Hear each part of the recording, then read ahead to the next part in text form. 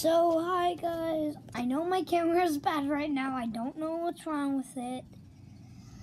But I'm getting ready to uh, post Oculus videos right now. If I can. It's probably gonna, some are probably gonna be out today. Uh, yeah.